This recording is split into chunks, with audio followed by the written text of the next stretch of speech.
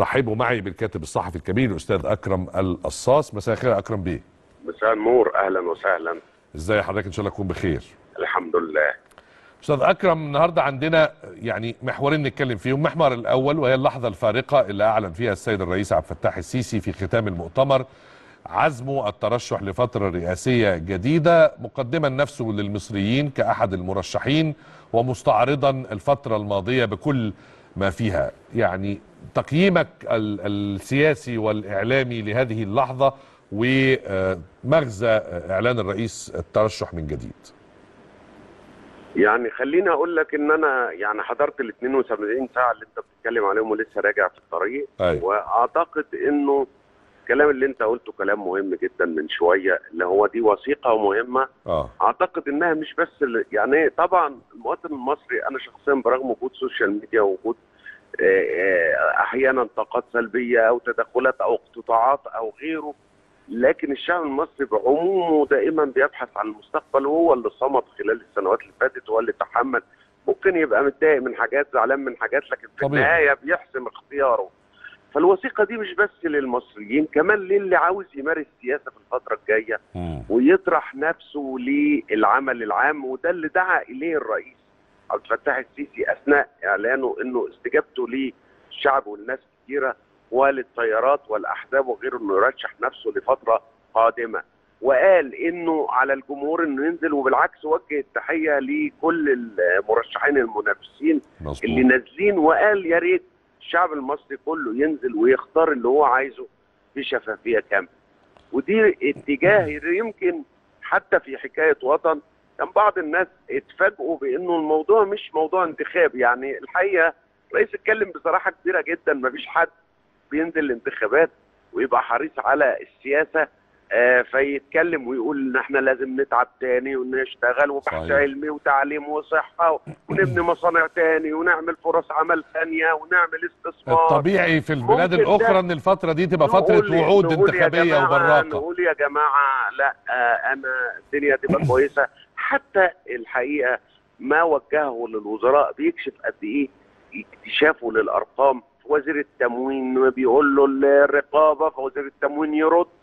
يعني فيها جزء أنا بقول اللي بيطرح نفسه. للعمل السياسي في مصر أو يرشح نفسه أو غيره عليه أن يقرأ هذا الأمر ويقول أنا أقدر أعمل ده ولا ما أقدرش؟ وفي نفس الوقت إيه اللي صح في ده الا حد دون التقليل من قيمة هذا الأمر؟ لأن بعض الناس يقول لك هو حصل إيه؟ لا حصل كتير. أيوة. وبعدين الشعب المصري اللي عمل ده ده في إهانة للشعب المصري إنه حد يتكلم إن أنت ما عملتش آه 48 مدينة من الجيل الرابع ما عملتش آه طرق آه وقطارات ومواني بتفتخر بيها. عندك عاصمة إدارية عندك العالمين اللي كانت آه ألغام وأنت حولتها لمدينه العاصمة الإدارية اللي إحنا كل ما نروح نكتشف فيها حاجة جديدة ودي مش حاجة هياخدها الرئيس أو هياخدها دي للدوله آه، مقرات الحكومة وبعدين عقلية جديدة بقى في الإدارة. والرئيس يمكن أشار لده وقال مش عايزين ننقل آه، أفراد لا إحنا بننقل أسلوب إدارة إنه البيروقراطية بقى. والتأخر الفكر هو اللي بيتنقل آه الفكر. الجديد تبقى دي عاصمة المحليات والبيروقراطية وطول الوقت الرئيس يتكلم في فكرة إنه عاوزين كل الدولة بسرعة واحدة وإن إحنا مستعجلين وغيره فده أنا رأيي إنه وثيقة للناس تقراها للجادين واللي عاوزين يعرفوا بجد حتى لو أنا عايز أعارض هذه الرؤية أنا محتاج أبذل مجهود كبير جدا صحيح. عشان أقول إيه الصح وإيه الغلط وإن كان أي حد بيمشي في طرق وكان شايف ان القاهرة مخنوقه أو 2020 كانت هتقف بتقارير دولية واللي كان شايف الفيروس سي بياكل أكباد المصريين 12% تقريبا حسب ما اعلن وزير الصحة 12 وأكثر شوية. وكان الناس بتموت النهارده آه، مصر قريبا تعلن خالية ما أول دولة في العالم أكثر من دول متقدمة الحقيقة. آه، بدأت معانا برضو في آه، مواجهة الفيروس سي أو نعم. الكبد. آه، في ملي- 100 مليون صحة. المبادرات وممرات التنمية اللي كانت مطالب للدكتور الباز والعلماء وقالوا إن إحنا نعمل ممرات تنمية زي بره في أرض. آه، 95% منها صحراء. ممرات التنمية دي هتعمل مجتمعات عمرانية حواليها.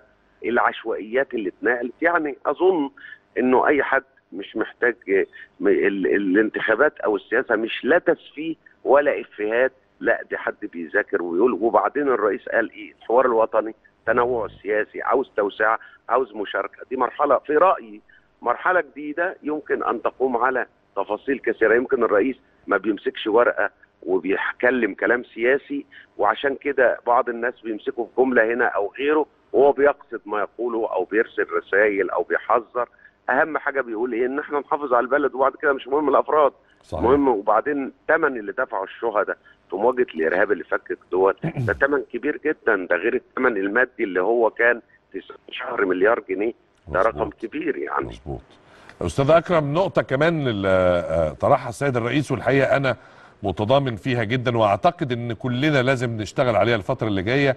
وهي فكرة آه، كثافة إقبال المصريين على الانتخابات القادمة ايا كان المرشح اللي أنت نازل تنتخبه لأن هو ده الامتحان الحقيقي لوعينا السياسي ونجاحنا في الممارسة الديمقراطية اللي عشناها وشفناها وتحديات كتير جدا خلال عشر سنين وأكتر.